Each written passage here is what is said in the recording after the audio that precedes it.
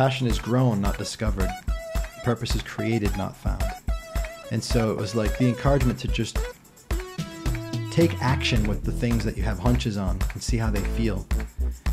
And and to get you know criticize these possibilities with dirty hands. Like you got your hands dirty from taking action with it. And so I encouraged him to go out there and start taking pictures. And if you want to take pictures in Africa, just buy a flight to Africa and just go take pictures of ant. Like, and so now he's got gets gigs going, getting flown out to Africa to take pictures in, uh, of wild animals, and he has like art uh, showings in, in London, and it's like it's become a huge thing for him and his clients and stuff. So. Um, I think that's an important point, though. It's like just in the beginning, it's like a it's like a little whisper.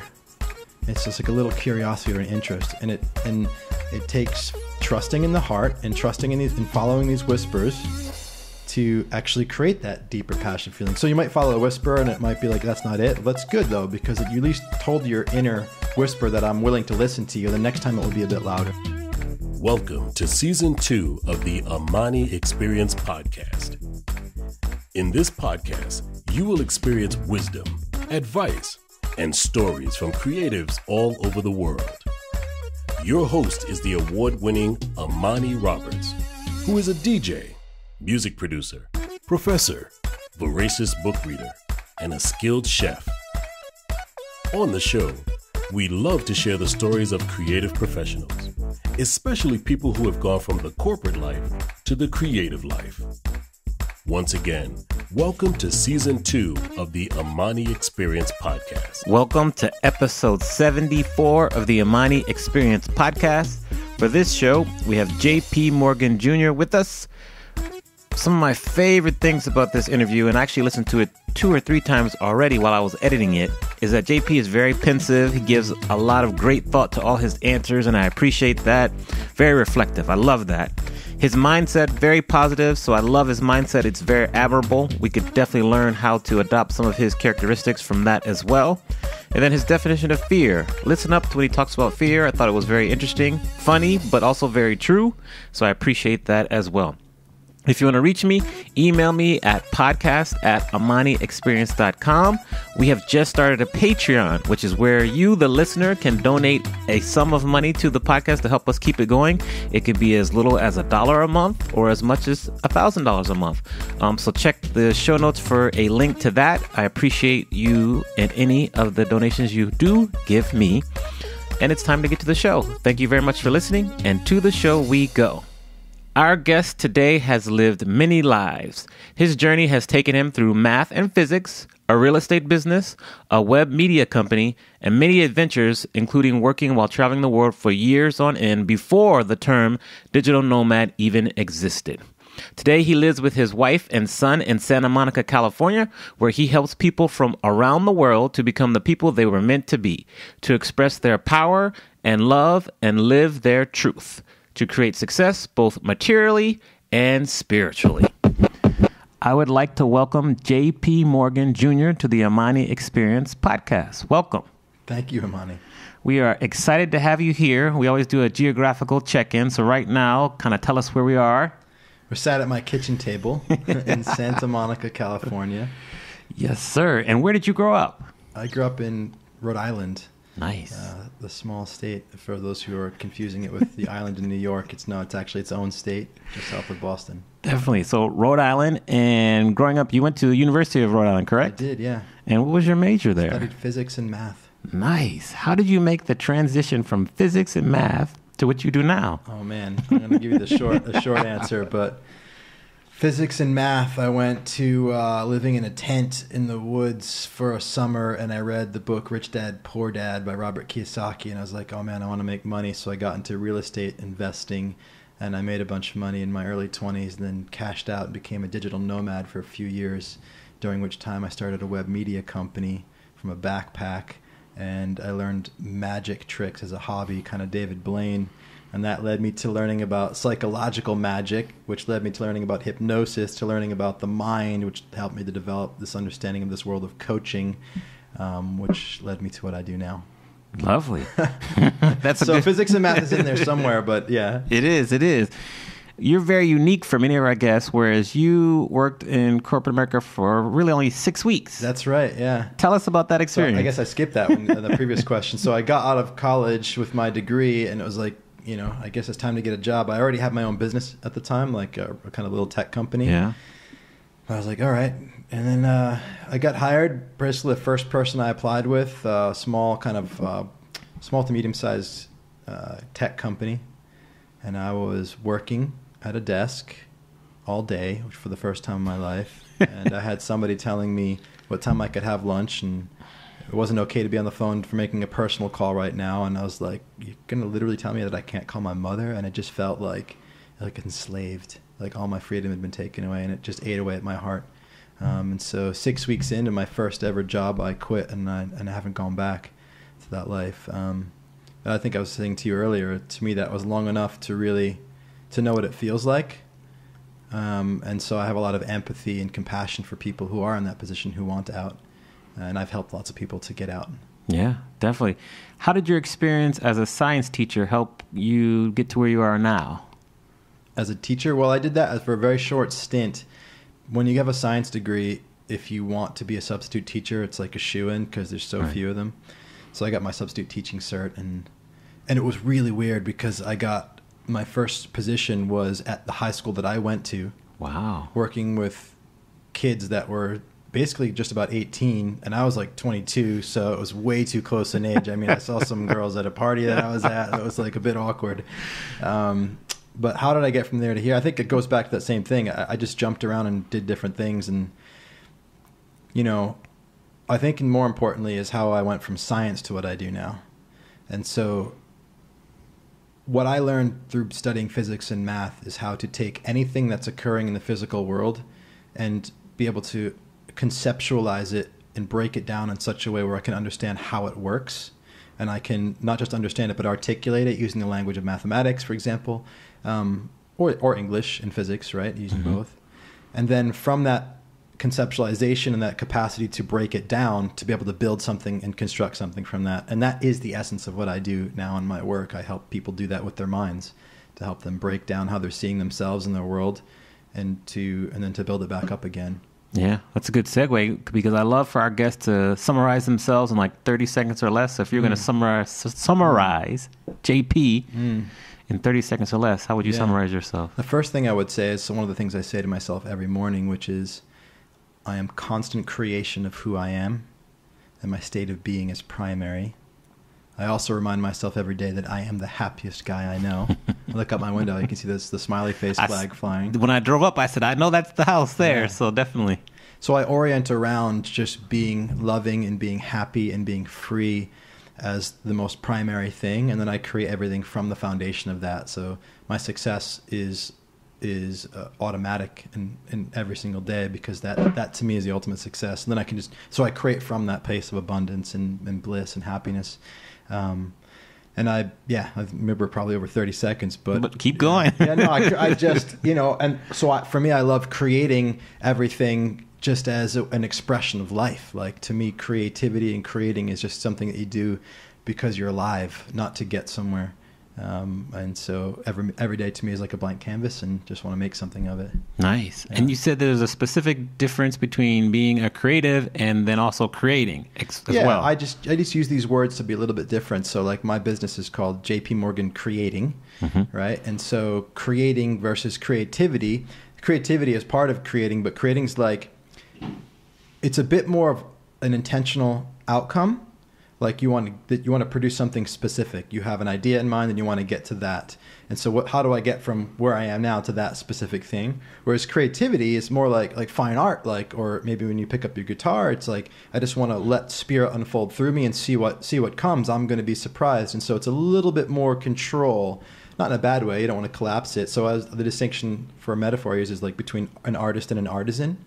So an art. So I'm a little bit more of an artisan than I am an. I bring artist artistry into it. But when I sit down with somebody, I want to do my artisanship on their mind to help them cultivate a mind that specifically enables them to create more of what they want in their life. So there's artistry in it, but I have a specific outcome, and so I'm, that's that's why I Yeah. say creating instead of creativity. I like it. in your opinion, what's important for creative professionals? Because I know you work with a lot of creative professionals. Mm-hmm. What's important for them to succeed in today's business environment? Yeah, um, in today's business environment, I don't know that it would be different from any other time. I think that sometimes the idea that it has to be different distracts us. Okay. And so I would say it's the same thing it's always been is to be the best at what you do and don't stop and just work tirelessly at it. Um, you know, everybody, people give up because they're not seeing the result. And I really, I feel like even moving here to LA, you know, when I, before I moved to LA, I had an idea about what Hollywood was like, people in the entertainment industry, and how it's just luck, and you know everybody's trying. But and you know now that I've met a bunch of artists and celebrities that have made it, even though it's the one percent of the one percent of the one percent, the through line for all of them is they have a tenacity that's palpable, and they have a work ethic that's palpable, and they have a commitment to creating the outcome they want. That's that's that's that really stands out. And I think that it's true that you know it's luck and not everybody gets there, but there's also this heart in everybody that you meet that's made it. And I, and I've I've grown to have a lot of respect for the people at the top of the industry here because they're it's not just luck. I think that even those even in Hollywood or in the entertainment world, like the people that make it, there's something in them that that has them be there. Besides the raw talent or the good looks or something like that, it's that tenacity and that heart. And so that's what I would say for any artist. Right. Your willingness to get up every day and just work to be the best. Speaking of the heart and the tenacity, how do you encourage people you work with who may be on the cusp of you know giving up and just kind of packing it in? What do you do to encourage them to keep them motivated? Mm. To keep them motivated. So one of the things that I've been saying to a couple clients recently is um, to focus on what's different every day. This is one of the most important things in any self change. And when you leave corporate to go to work for yourself or to be an artist, that is a massive self change. Do not underestimate how much that's a change in your reality. And it's going to be hard because it's a different it's a different universe. Um, but and so in that journey, instead of looking every day at what's the same, the bank account's the same, or I'm still haven't gotten this part, or whatever it is, if you see sameness, it will actually undermine your, your sense of progress and it will demotivate you you want to focus on what's different, what has changed this week, what's new this week. It doesn't even matter if the difference is worse, because if you if you're having if there's difference, you know that something's changing, and that you're having influence in some way. So you want to see what's a, what's and there'll always be something that's positive, positive and different every single week. So if you can train yourself to notice what's different, even if you're journaling every evening, what's different this week, what's different today, um, that will actually engage your motivation because every time there's something different, we feel like we're making progress. Agreed, agreed. And then going back to how when you first moved here, how is LA now? Like, how do you compare it to how you perceived it was going to be to how it actually is? Mm. Well, I, you know, just the most important thing is the thing like I said about like having my uh, immature stereotypes about the entertainment industry and having those just and you find out oh they're just people just like everybody else of course just like my judgment um, but then also LA is like there's everybody here right? Uh, sure, there's the bubble of, of, of certain people, but there's also the bubble that I live in, which is the, the health and fitness and nutrition freak bubble, which is like we like the, the most, you know, we moved here because we were health freaks, and now we're just normal, my wife and I, um, from from from London to here, and so there's that, and and any you can have your community of people here. There's 15 million people or something yeah. in LA. It's like you, whatever you're into and whoever you are, you can have, you know, tens or hundreds of people that are just like you that can be your friends. And so um, you just gotta be patient enough to to find them to create them here. Yeah. Agreed. Like for me, the DJ life, there's tons of DJs here. We have a strong community producer, so I agree. Yeah. If you're thinking to your how your career has progressed, when would you say was a turning point when you said this is going to work? I'm on my way. When would you picture the turning point? Um. So I knew it was going to work, and I was on my way from the first day. But that's because I had a faith in myself, which was a result of having built businesses multiple times. And so I want to answer it in service to the listeners here who may be facing that for the first time. Um, there's a faith that comes from experience, but in the beginning, faith needs to come from something deeper than experience. And it's like in our heart, when somebody speaks a principle or an idea like the idea that if you just help people, every all your needs will be met. It's like if you haven't woken up in the morning and oriented yourself towards helping people all day and just trusted that all your bills would be paid by that, then it sounds like a lofty ideal to the intellectual mind. But I would challenge that everybody in their heart knows that it's true. And in, so it's like in the beginning, when you don't have the experience of building financial success, let's say, or an artist success through experience, you have to listen to what does your heart believe is true. And ultimately, a lot of the people that it's leaving corporate, you don't have the experience to doing it on your own. You have to listen to your heart. So, mm-hmm. how do you have faith in something without evidence? Well, faith is kind of another way of being in the world. It's not evidence. So, what do you have faith in? You have to have faith in a feeling. You have to have faith in a sense and just a just a deeper knowing that this is true and this will work. Um, and it takes courage to have that kind of faith. But uh, I think ultimately that's a source of the tenacity as well, because when you're not looking to the experience and results, well, where do you look? You have to look inward. Right. Why do you love what you do? Um, man, why do I love? Why do I love what I do? Hmm, that's a good way of asking that. I, I mean, the things that are most important to me are things like love and honesty and freedom and growth and contribution and having the power to create. Um, those are things that I personally really value. And the people that I work with, they happen to resonate with those values as well because of the way that they reach me through seeing my work. And so I get to spend time in conversation with people, helping them to access more of the things that they love, which also happen to be the things that I love. And so it's just like you know, if you loved skateboarding and this other person loves skateboarding, you get to go skateboarding with them. You get to do what you love. So every day I get to be in conversations helping people to have what I love, which is a way, you know, they get, they love it too. So yes. I'm in my element. I love being in conversation. I love listening. I love speaking as I'm doing now. Um, yeah. So, yeah, that's a, I never thought, think about it that way. I mean, everything in my life, as I said, I'm the happiest guy that I know. And one of my approaches to that is to remove anything from my life that – doesn't give me happiness. Yeah. And so I've kind of whittled like every eh, whittled my life down to only the things that I enjoy and that I love. So yeah, that's another reason I love it because it's all that's left. Cool. Can you share with us a story of maybe someone that you've helped that really you helped them unlock and kind of uncover and get into what they love to do? Anyone story come to mind? Yeah. So to get into what they love to do, as if they didn't know what they loved at first, and now and then they found something that they love. Either that, or they were scared to pursue it, perhaps, or they mm. had fear. Mm. They didn't have the courage that you spoke of before. Mm-hmm. Mm-hmm.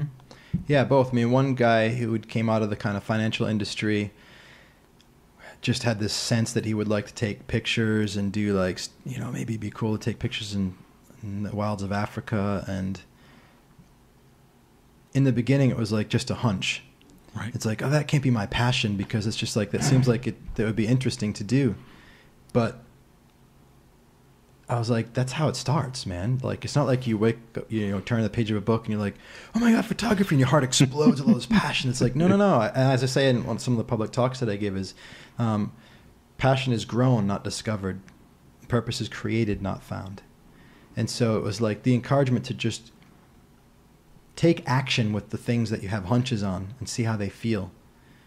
And and to get you know criticize these possibilities with dirty hands like you got your hands dirty from taking action with it. And so i encourage them to go out there and start taking pictures. And if you want to take pictures in africa just buy a flight to africa and just go take pictures of ant like and so now he's got gets gigs going getting flown out to Africa to take pictures in, uh, of wild animals and he has like art uh, showings in, in London and it's like it's become a huge thing for him and his clients and stuff so um, I think that's an important point though it's like just in the beginning it's like a it's like a little whisper it's just like a little curiosity or an interest and it and it takes trusting in the heart and trusting in these and following these whispers to actually create that deeper passion feeling. So you might follow a whisper and it might be like, that's not it. Well, that's good though, because you at least told your inner whisper that I'm willing to listen to you. The next time it will be a bit louder. And, right. Um, so that's one, but as the, another one too, but longer, more deeper into the journey, like one of the artists that I work with, a musician,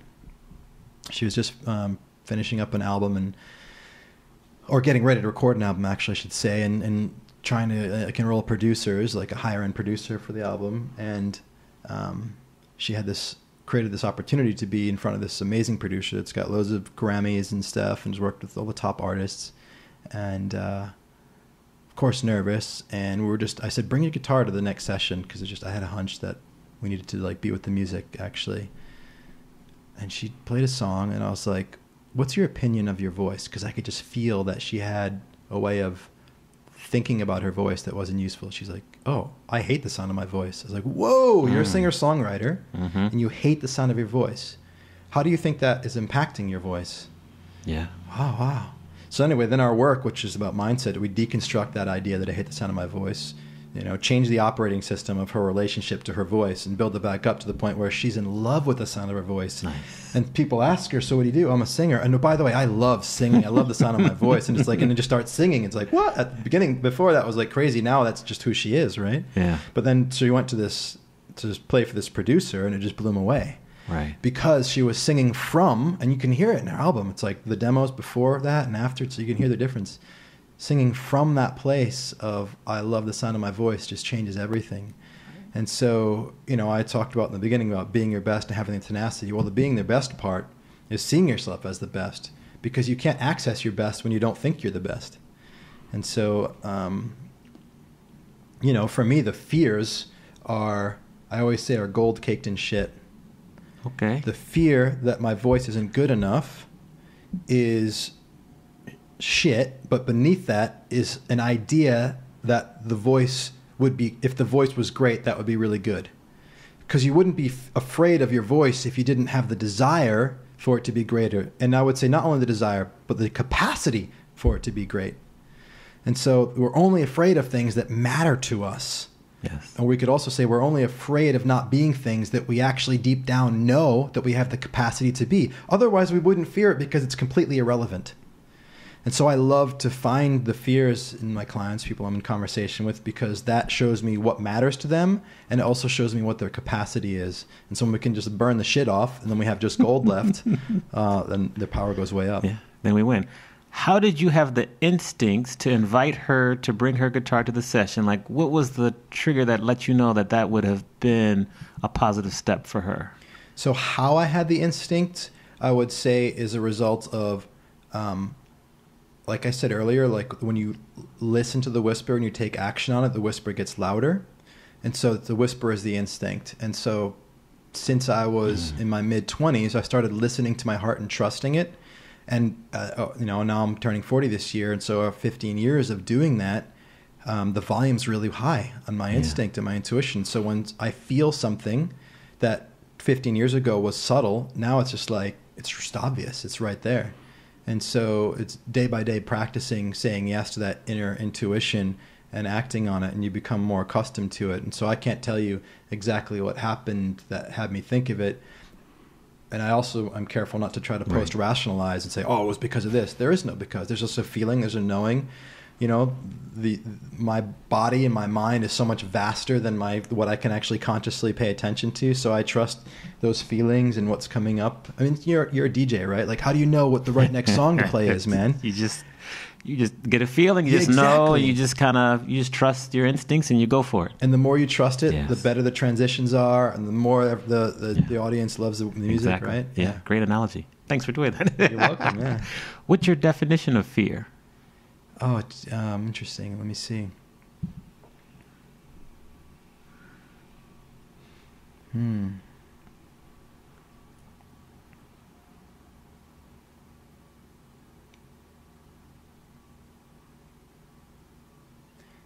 I think for me, all fear boils down to the fear of death. Um, we experience it mostly as psychological death, maybe financial death, death of a relationship, but it's like all it's all the fear of not being anymore. It's existential, and um, and and so the more we can be free from the illusion of anything as real, the more we're free from fear. So one of my one of the things that I try to remind myself always is is that uh, this is all just made up. It's all an illusion. I'm not saying I just live conscious of that all the time, but the more that I do, the more free I am. So I could we could say the def like fear fear is a lie. Fear is fear is an illusion. Fear is the illusion that we're separate from anything or that um, we're not going to be okay. Yeah. Yeah. Yeah, your definition is similar to what I like to share with people: false expectations appearing real. Yeah. Fear. It's an acronym. So, I yeah. like it. Yeah, so False that's very similar. expectations appearing real. Yeah. Yeah, good. Another good segue is to this next question: is what is something that scares you? Oh God, the thing that scares me most now, most lisp, um, is the thing that scares me most now is just losing my son. I'm a dad. I'm a new dad. I have a two and a half year old son. Congrats. Thank you. And uh, it's crazy. Like, got in a little tiff with my wife the other day about like how safe it is for him to for her to walk him to school. They walk like a couple miles, and she was saying people in the cross keep people keep trying to like turn when we're walking in the crosswalk. And I was like, what do you mean? You mean you guys are at risk when you walk into school? Am I gonna have to drive you every day? It's like it's like whoa, relax, JP. It's like, but it just it's crazy. You know, it's like um, it. I'm more afraid of him getting hurt than I am of myself Mhm. and I don't have the same quote unquote control over his safety that I do over my own. So it's like suddenly I'm more at risk than I was my whole life. It's it's a crazy experience. Yeah. So I'm I'm just noticing it and present to it. Yeah. Yeah. Okay. Which Good. is just part of the false expectation appearing real. There right? you go. The There's that- expectation that I can keep him safe or that he's at risk or yeah. Right. Definitely. We use that acronym frequently, I bet. Your industry is a crowded space. What Mm. you do, like a lot of people, not necessarily specifically what you do, but the overall industry is very crowded. How do you rise above all the noise and distinguish yourself from the competition? Go right back to the thing you said at the beginning be the best make more of a difference than the next guy or girl um, make more of an impact and and my way of doing that is to to be a master and the definition of the master I like from the way of mastery which is the difference between a master and a student is a master has perfected the art of always being a student so always bringing beginner's mind, always learning, learning from everybody and everything, so that I get better and better at what I do, um, and being committed to making most making most of an impact, most of a difference. And uh, yeah, I think it's really easy in any industry to be focused on what can I get, and anytime you're focused on that, you're not growing. And so, my constant focus on my growth, I think, just has me end up netting more personally as a result. Yeah. Yeah. That answer reminds me of a quote that you had written before where it says, Sometimes being for you means not being there for you. Mm. Explain to us why that quote resonates so much with you. Yeah, because one of my biggest commitments is that my family comes first. Um, and a really simple interpretation of that means that I'm always there for my family. But I, all, I'm not. You know, I, I travel to Phoenix twice a month all day to be with my mentor. Um, I uh, get up in the morning at uh, 4.30, 5 o'clock, and I go to CrossFit and I do my meditation while my wife's getting up with my son and trying to get him ready for school. And I come home and take him to school, but um, I'm not there a lot. But I'm not there because I know that spending that time in my fitness of my body and the fitness of my mind and, and work with my mentor is how I grow myself and I'm able to create all the things that are in service to my family. Now you could take that to the extreme and like some so that's why I say sometimes being for you means not being there for you. It's not like all the time because you could do the other extreme. It's like I'm never home because I'm for you. And so where's the where's the needle land? And it's both there's no right place.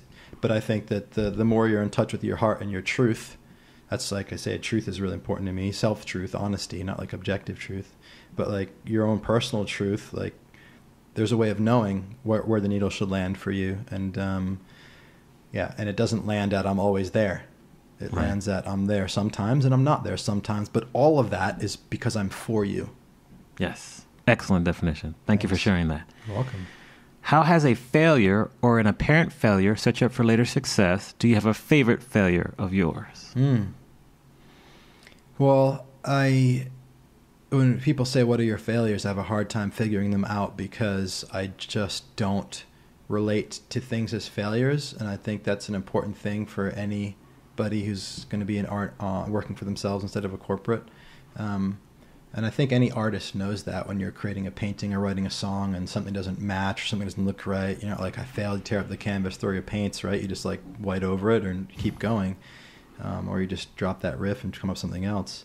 Um, and so to me, everything is pivoting, growing, and creating. It's like when they say somebody out of 10 businesses fails, like you could probably look at lots of my businesses that have quote unquote failed, but like I just, just evolve that into something new.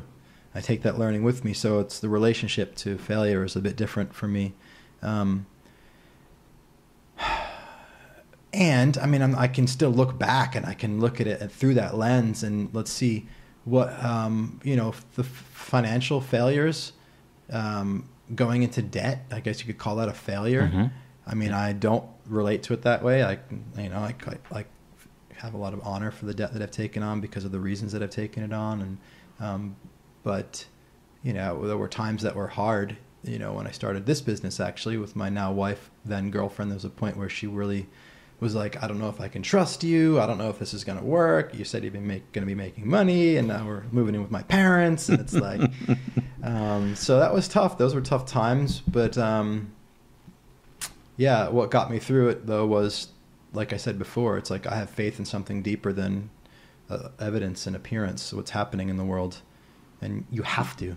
And if you want to create something greater than what you're experiencing, then you have to stop looking to your results for your motivation. You have to go inward and you have to look to something deeper. Otherwise, it just creates a feedback loop of, of non productivity. Does that make sense? Yes, does make yeah. sense. I was yeah. wanting to keep going because I'm, right. you know, I'm liking what you're saying. Well, so yeah, if you look at the evidence of lack of results, which just you're just going to create more of that. You know, one of the hardest things to do is to hold in your mind and your focus an idea that's con, con, counter and contrary to evidence. Right. But that's how you create something new. That's how you create something greater.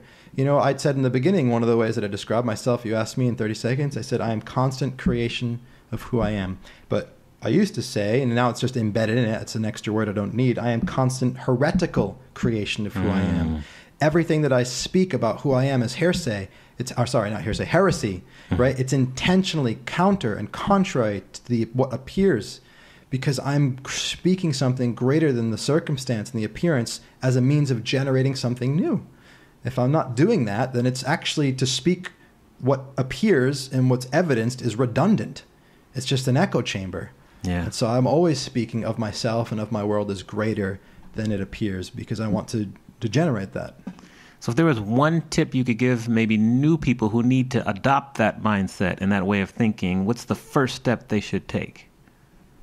Um, I think just realizing that um, it's not lying, it's not deceiving yourself. There's a difference between being ignorant and consciously and intentionally ignoring something because you know that focusing on it creates more of it. Right? And so I think if somebody speaks like an affirmation or a declaration or a vision and they speak it and they feel like, oh, I feel like I'm lying. Well, that's because you're not understanding the difference between just deceiving and intentionally, consciously generating creative tension. So I will speak, you know, I earn a million dollars a year as a coach, which I'm not there yet, maybe halfway. Um, but I speak it to generate creative tension. So I can either notice, well, I hadn't make a million year this year, so I got to speak, I got to not say that. Right. Well, I can do that. I can diminish my words, and now I'm just speaking what is. Now I'm just not creating any creative tension. Or I can continue to speak that, and then to cl- to close that tension, I have to call myself into greater action to have that yes. actuality meet the speaking. Yes. And so I would say creating a new relationship with your speaking that has you be able to hold in your mind and with your words something greater than what is, and and feel the tension, but don't collapse your language and your speaking and your vision. Um, bring your world up to meet it. Agree. Yes. Very well explained. Again, thank, thank you. you for sure. Now, as you become more popular, you get more speaking opportunities, more fans. You also acquire more critics or haters, as we mm. like to call them. Mm. How do you handle your critics? The same way I handle the praise, which is to remember and remind myself that it's all projection. I actually have a video on my YouTube channel called Defend Against Praise. Okay. Which is a, uh, a, uh, the other side of you are what you admire. And so all praise, uh, sorry, no, defend against praise is also what you are what you admire, actually. So I'll explain that again when somebody is praising me, um, they're saying you're great at being authentic, right? Um, and so I'm like, thank you, I'll receive that because it feels nice. And I know that the only reason they're pointing that out in me is because they have in them a value of that, of authenticity, which is also part of their capacity to be authentic. And so if they're praising me, I can receive that, but I can also acknowledge that the only reason they're seeing that and saying it to me is because it matters to them. And then I use praise not only as a way to feel nice and, and rewarded, but also as a way into how I can help them. So if some, so I, that's where I say you are what you admire. If you're admiring something in somebody, it's because you have that capacity. And so I, I love being praised because it helps me to see where I can help people be more of that. Nice. So, on, and on the flip side, um, somebody saying that they don't like something about me is they only don't like that because they don't like it about themselves. So, it's just a video the other day where a guy's like, somebody shared one of my videos and and she tagged one of her friends to watch it because she said it would be useful for him. He's like, I don't have time to watch it now. I'll come back later, but I hate this guy's face. right? Oh, but it, it, was, it was it's an easy one for me to talk about because there's just I guess I don't have like a fear of like having an ugly face. So like I you did- don't have an ugly face. Thanks, but thanks. but I but I so I was able to really easily see it as projection because I didn't get caught up in my own shit. And but then it's like, wow, what does that guy have about his face and faces that's like that's going on for him and how is that there's to be a place in his life where what his face looks like is holding him back. And that would be an interesting conversation for me to have for him because he has a he's got a consciousness about faces and faces he doesn't like, right? Where is that where is that holding him back? How is that impacting him? Yeah. Um, and so if I was in conversation with him, that's where I would be looking. So I love both praise and criticism because both of them are doorways into the heart and soul and mind of the person that I can help them help them with. Interesting. I'd love to get a video of that conversation you get with that guy whenever, Yeah, if, if we you I ever have- yeah, talk yeah, to him. yeah. That'd be interesting. Tell us about the darkest time in your life, how you got through that, and what did you learn from that experience? The darkest time in my life, yeah. Um, I think it was probably it's a toss up between when my parents separated when I was like 15 and um, when I was diagnosed with multiple sclerosis. So let me go with the latter because I was a bit older and it's like, you know, I have more consciousness about how I dealt with it, I guess. Um, I was in my early 20s, just out of university, and I went blind in my left eye um, just over the course of like two or three days. And through a bunch of series of doctors, I had an MRI and stuff. They're like, you've got multiple sclerosis, and this is what it is. You could be fine the rest of your life, or you could wake up tomorrow paralyzed, and some people die from it. So I was like, fuck. I was, uh, it really kind of, you know, rocked me and scared me. Uh, my my eye, my eyesight came back after some steroids after a couple of weeks, mostly like ninety percent, ninety five percent. So it's fine now, but. Um, I was, you know, I was pretty depressed and pretty sad and pretty scared, and did a lot of reading. And the more I read, the more scared I got. And Yeah. so I stopped doing that. But then, I don't know. There was a moment where I just flipped it. I was like, if this is the case, then I'm just gonna, like carpe diem, right? I'm just gonna live more fully for everything and every moment, and just really embrace the day and just be, you know, just live my life. And you know, part of why I cashed out of the real estate business in my mid 20s and just started traveling the world is because of that. You know, if that wasn't there, I wouldn't have followed my heart. And so, uh, you know, I've talked today about your willingness to to follow your heart and have the courage to follow your heart. And I think to some degree that knowing that was there, like death, the paralysis was always waiting right around the corner, um, is what gave me the courage to follow my heart in that way. And now, what is it? Twenty years later, my doctor has like removed that from my medical records, and uh-huh. basically it's like this may have been a misdiagnosis because you haven't had a symptom in 15, 20 years and tw- since then, basically. Right. And no, I, and so part of the other thing that happens is I'm not just going to enjoy the day. I went from looking at how can I, you know, just the medical industry is like how can you survive enough to work to like it's not about survival, it's about thriving and optimal health. And then my whole life has now become an orientation, or not around surviving, but around thriving and optimizing. What is the healthiest that I could possibly be? Which no doctor will get you to. It's not their job. It's, it's but if you want to create the most optimal health and fitness, what does that look like? And so, and I think that's how I've gotten undiagnosed from multiple sclerosis, and um, and uh, and it's also influenced lots of things in my life. Like my whole life orients around optimal and thriving, um, and that may not have ever occurred if it wasn't, um, you know, seeing how the fear of survival wasn't really serving me. So that example, you exhibit a lot of courage. What would be your definition of courage? Hmm. Well, I'm really a fan of etymology and the la- and, and words and the history. So, courage comes from the Latin word cor, C-O-R, which means heart. Mm-hmm. And to me, um, courage is the emotion we feel when we are really viscerally connected to what really matters to us in our heart. It's a it's like a it's it's love in action, right? And so you know when you think of courage, somebody running into a battle, what's going to have somebody run towards a bunch of guns? It's because they're connected to a very passionate emotion, right? Um, or their heart is on fire and it's like and it's uh, and it loves something. And so so how do we get courage? Um, I think it's you know allowing yourself to spend time connected to those things that you care about and really like feeling the emotion of it imagining it staying with it and just and feeding it and taking action Yeah. and then you like action in service of what you love gives you more of that feeling you know and so um, feed the fire yeah Love it. Taking action. yes Who was the most influential person for you growing up? mr rogers All right, tell us why. Yeah, I didn't know it until his documentary came out like earlier this year, and I watched it and I realized how formative those shows were on me. Um, I have a deep, uh, it's just deeply impressioned on me this idea of, of of unconditional love and caring for people and being loved and love love being loved just the way that you are. That really impacted me. My mom, my mom was like that a lot too and um, and so much of my work for the last 10 years as a coach has been about helping people to experience love to be loving and to and to allow and to create themselves as loved because we hold we are on the driver's seat of how much we're loved right and so um, and so it's always been there but it didn't become conscious until i saw this documentary and i was like oh my god i was crying for 90 minutes and i was like everything he's saying is so true for me and that's because it was it was like ingrained into me when I was a little kid. I just used to watch that show, just completely fascinated, and um, it really kind of I think it created the foundation of a lot of the foundation of who I am. There's another side to it, which is more from my dad's side, which is all about power. Mhm. But uh, love and power are kind of the two, you know, two things that really made me. Good. I'm going to read another quote that you've written or said that's really kind of caught my eye. It goes, Allow everything, accommodate very little. Mm. Why does that resonate for you? Why did you choose to mention Mhm. that and write about that?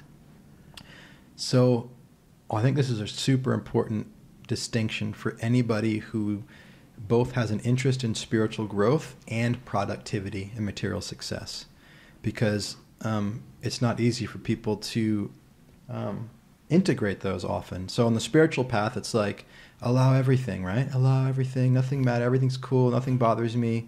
Um, and there's people that do that and, and they do it, but then it's like, and they get some inner freedom and peace, but then they nothing, no making shit happen in the world. It's like, right, just getting walked all over, but it doesn't bother me.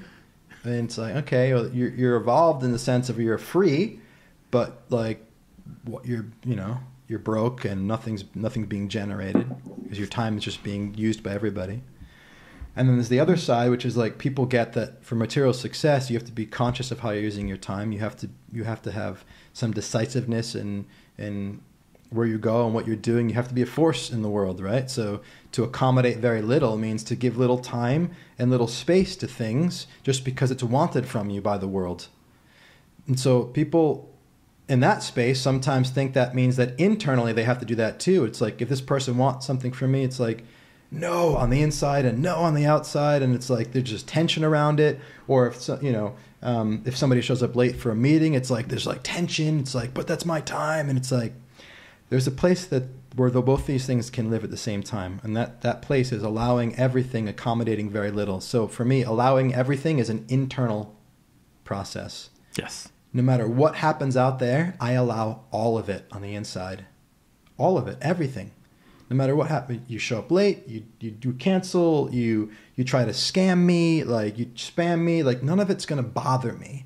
I'm not saying it doesn't happen, but my intention with this principle is to not let it bother me, and if it is bothering me, that's because I'm not allowing it internally. Now, just because I'm allowing it internally doesn't mean that I have to accommodate it. And when I say accommodate it, that's what I do on the outside. Am I giving time and space to the thing? Am I putting you on my calendar? Am I taking the time to email you back? I can allow people to email me. It doesn't mean I'm going to accommodate it with a reply. It doesn't I can allow people to ask me for my time and I can be relaxed with that. it doesn't mean I'm going to accommodate it by saying yes.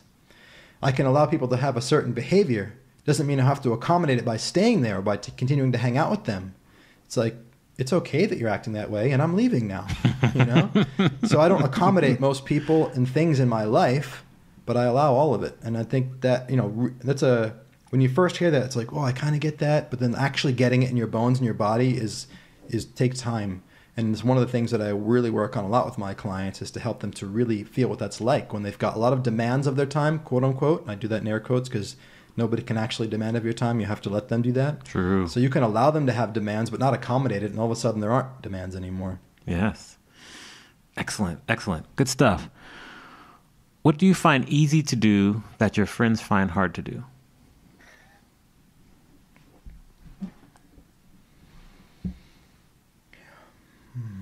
Let me get that answer.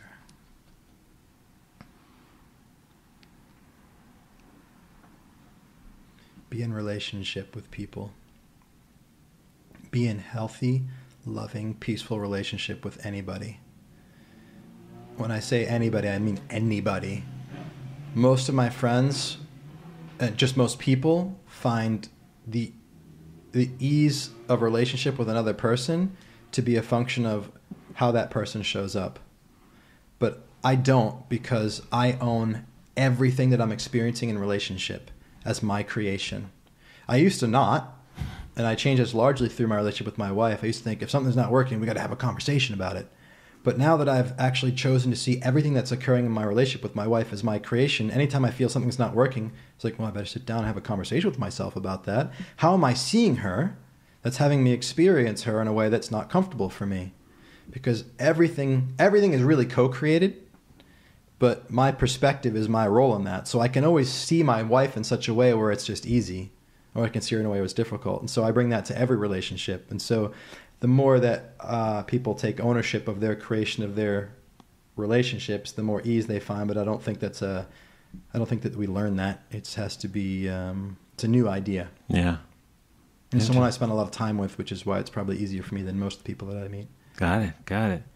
Now, when you turned 21, you were still at University of Rhode Island, correct? Yes, that's what right. city is that in? Uh, what's in South Kingstown, Rhode Island? So we're going to go to South Kingstown, Rhode Island, talk to 21-year-old JP, and give him some advice based on what Mm-hmm. Okay. You know now. What advice would you give your 21-year-old self? I have to say this just jumped into my mind, but it's so fucked up and gross and weird, and I hope my wife's not listening. But I would have said, you know, uh, condoms are are important, but at the same time, it's much harder to get a woman pregnant if you just time it. And I would have had a lot more unprotected sex in my life. Now, I'm not advising that for others, but I just I feel like I missed out on 15 years of unprotected sex. Now that I'm married, I'm like, this is awesome. It's so much better. And I was so cautious back then. Anyway, um, but like let's look at that a little bit wider, like from like a maybe a business perspective.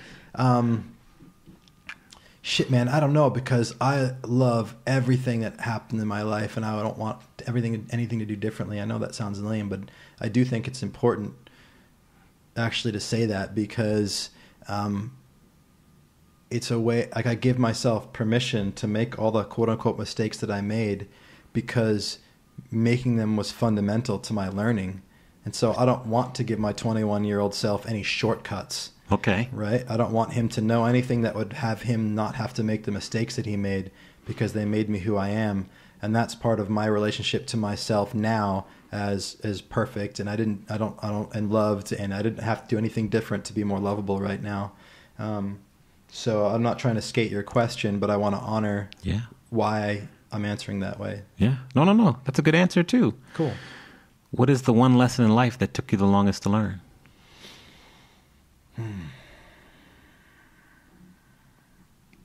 It's got to be one that I'm still learning. Um, I think it's the one that I'm that I said is the one that I'm better at than most of my friends, um, and it's the one I'm still learning, and it's taking a long time. But it's that like everything that I'm experiencing is my own creation. You know, it's my perspective, it's my attitude, um, and so I'm still learning it, but it's the most valuable lesson as well. You know, the more my heart's at peace, the more the world looks like a beautiful and peaceful place, and the less issues I have. So I'm still learning it. So that would be the long, the longest. Yeah. We, we, we're still learning many lessons, so Yeah. definitely. I also think of a quote as we're talking where it goes, you know, life does not happen to you, it happens for you. Mm. What's your opinion of that quote? Mm. I like that because if it happens to me, that means I'm a victim of circumstance. Um, and if it happens for me, then my relationship to it is it's an opportunity for me to to grow with. Um, it's really nice. It's like it kind of welcomes everything as a gift. Mhm. It's like a hand being put out to welcome you to a dance, um, and it's not like you. It's not it's not a victim, not to me, um, but it's also like it's not. There could be a third option, which is life happens by me, True. which is like I am the owner and the controller of life, and that that's just actually the flip side of the victim. It's like you can either be a victim or or, or a villain Yes. right? It's like the so it's I like for you because it's neither. It just kind of transcends the victim and villain um, dichotomy. Yeah, yeah. Okay. Every great person has a sentence. What is your sentence? For example, my sentence is I love to help people unlock their creativity by teaching them how to DJ. What is your sentence? What would you love to create today? Love it. Boom. What is one new habit that you've added to your daily routine in the past year or so that has been most beneficial? Mm. Mm, There's been so many. Let me let me see what's been the most beneficial. You can pick a couple if you like. Yeah. Well, there's a you know my morning routine, my sitting meditation, my practice is um, all the different parts of it have been impactful. So I'll just give you a su- summary of it. So I sit with breath work for a few minutes or five minutes or so, just to kind of like get my all my neurology kind of activated. And then I sit in stillness, vipassana meditation, see, hear, feel, just to kind of create mindfulness and kind of disentangle myself from uh, the train of thought that I'm usually subject to.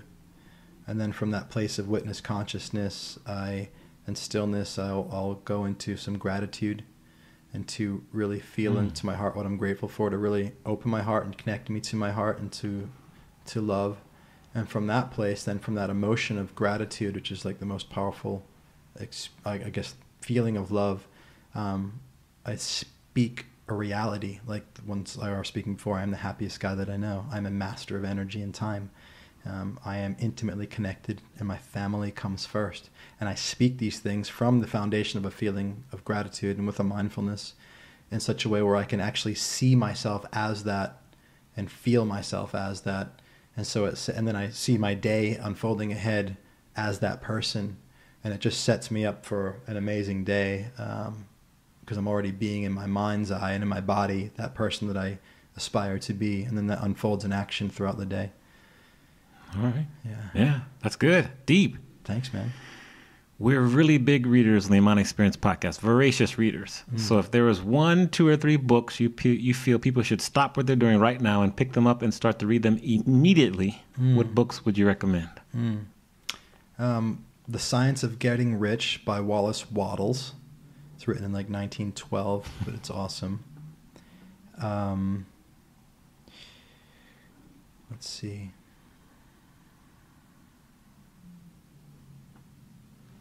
There's so many, so I want to just. I'm just going to check in with my intuition for your listeners. What are the top three? So that's that's the first one.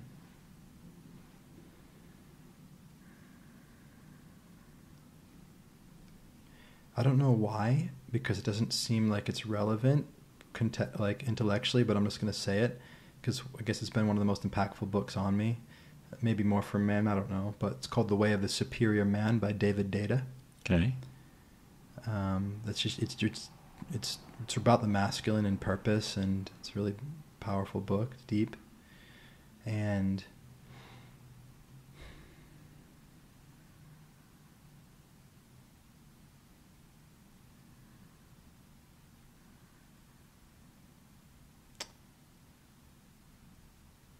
this is again not not, not an obvious book, but I'm going to speak it because it's intuitive to me.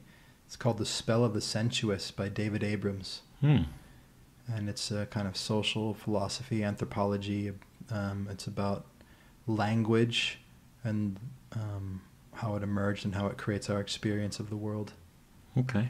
Interesting. We'll add those to the show notes. Check Yeah. them out. Awesome. Yeah. Now, you a baseball fan? Mm, I don't hate baseball. What's your favorite sport? I like to see. Well, I didn't play ball sport. I mean, I played ball sports as long as I had to, but and I got out of it as soon as I could, and I got into martial arts and skateboarding at a young age. So yeah. yeah, Yeah, because if I recall correctly, you're like a black belt in how do you pronounce it? Kinpo. Kenpo. Yeah. Kinpo. Okay, so let's let's go there. Say you were going to go to a match, Uh huh. and they're announcing you. So they say Yeah. JP's coming to the mat. Okay. What song is playing? What song is playing? Um, it's so funny because I am so disconnected from, like, I don't even watch UFC. I'm not into martial arts anymore. But I want to stay with this question because it's, it's um, it's my, my wedding song with for my wife. It's just the way you are. That I'm, you know, only because that's that's that's what I would love. Don't go changing to try and please me. You've never let me down before. hmm Don't imagine you're too familiar, and I don't see you anymore. For a fight, but that's like that's an expression of me. Right. Um, and I only noticed this morning because I was playing it for my son on the way to school. It's like, this is the song for my wedding, buddy. Um, that just the way you are is the message of Mr. Rogers too. Yeah. I didn't realize it, but like that. That's the same message, and it's like that's why I love that song for her. And so, so that would be me facing my opponent, being like, "All right, buddy, I love you just the way you are." Striking fear into them. yeah, striking love into the heart of my opponent. nice. Which version do you prefer? Uh, just the original. Original? Yeah, okay. yeah, yeah. Cool. Cool. All right. Explain to people how they can find you online and if they were interested in maybe some of your services, what's the best way to reach you? Um, so if you're interested in my services, go to my website, jpmorganjr.com. That's jpmorganjr.com. But as a first step, I would suggest just follow me on Instagram. jpmorganjr is my thing there, or on YouTube, jpmorganjr. I've got like over 300 videos, short videos. They all capture single insight and distinction. On my YouTube channel, you can just look at the titles and pick the ones that seem like they'd serve you. Subscribe there. Follow me on Instagram and uh, or on Facebook as well. I'm the same You kind of username everywhere. You can Yeah. include links in the show notes. Yeah, for sure. Um, but yeah, just consume my content, and I always tell people like, just subscribe and then just come back every day and watch like two or three videos, and just like over time, the consumption of the different distinctions will start to get. There's a through line in all of it that's deeper than these specific ideas, and you'll start to like take on the idea of being a creator and creating your world through being present to my work on a constant basis. Yeah. Cool. We'll add all those links to the show notes. And then before I ask you the final question, to say thank you for letting me interview and being on the show. Um, I really appreciate the mindset and how you speak about mindset, the intelligence and knowledge you bring for the industry as well. It's very evident. Um, you. got great energy as well. So I love that. And I just really love the work you're doing. So I'm glad that we've met and definitely want to come and watch you when you're speaking in public. So let me know Cool. about that. All right. Um, and we let our guests kind of take us home in the show, give us any last minute words of wisdom or advice. So I'll say thank you again and allow you to take us home. Yeah. So one of the things that I've been focused on a lot right now with my clients and and myself is whenever you're trying to change anything about yourself, what happens is you start to develop an awareness around the behavior that you want to change, which is a great thing. They used to say in the GI Joe cartoons when we were kids, "Hey kids, now you know, and knowing is half the battle." Remember that? Yes. And yes. so knowing is half the battle, but it's not the whole battle. The other side is, is action. Um, but if when we develop our awareness of, of the behaviors that we want to change, and then we start to not only notice it in hindsight, but notice it in the moment, how we relate to ourselves in the moment of noticing that behavior is the most fundamental uh, aspect of self change. And because here's what happens most of the time people become aware they want to change something and they start to notice it when it shows up in the moment. And then in that moment, they say, oh shit, or I shouldn't have done that, or that's ridiculous that I'm still doing that. And that response, that response is a self judgment. And that self judgment, it's like there's a whole path of self change that you can change that behavior. But when you respond to yourself in that mindfulness, in that awareness, in that way, even if it's like, oh, I shouldn't have done that, and it seems innocuous, it's not. It's actually a way of putting a gate on the path of that, of that change and putting a lock on the gate. It shuts down all your access to change. It takes all the awareness you've just created around changing yourself and it, and it, and it turns it into a, a way of abusing yourself. And that is a behavior that's born from the lie that we learn really young is that like the only way I'm going to behave and be good is if I'm punished. And so we do it to ourselves. But it's not true. It's not true that we won't be our best if we're not punished. And so the most important thing to do, and if you do only this with your awareness of behaviors that you want to change, if you're easy on yourself and you notice your behavior, it's like, oh, I did that thing again. Oh, that wasn't really useful, but hey, I'm innocent. Like I was only as conscious as I was. It just happened. I love myself anyway. It's okay that I ate the cupcake, and tomorrow I'm gonna I'm gonna eat a little healthier, whatever it is, and I'm okay and I'm loved. And that gentleness and that easiness with yourself, if you just do that, your awareness plus your ease on yourself will actually have your your your change will just emerge all by itself. Well said. Thank you. Thank you, Amani. You're welcome. Thank you for listening to the Amani Experience podcast. You can check out the show notes on amaniexperience.com slash podcast. Feel free to email us at podcast at amaniexperience.com. Please remember to leave us a review on the platform you are listening on and share this podcast with anyone you feel would benefit from listening. See you soon for our next episode.